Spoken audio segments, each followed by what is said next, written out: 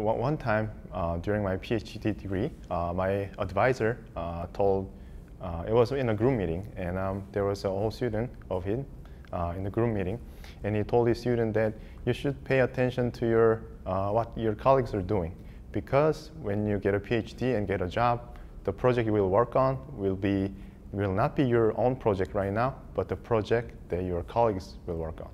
And by that time, I thought, okay, uh, maybe good advice, maybe a good guess. Uh, but it turned out that after I got PhD, I, as mentioned, I'm doing nonlinear optics, uh, especially in chalcogenide.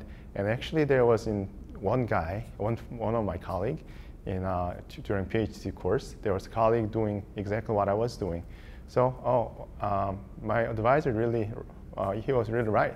And from now on, I really pay attention to what my friends are doing. And um, it's not just the um, uh, broadening your uh, knowledge and technical skill, but also uh, very fun because uh, uh, you're learning uh, new things very actively. So I would say it's good to have attitude that just keep an eye on what other people around you are doing.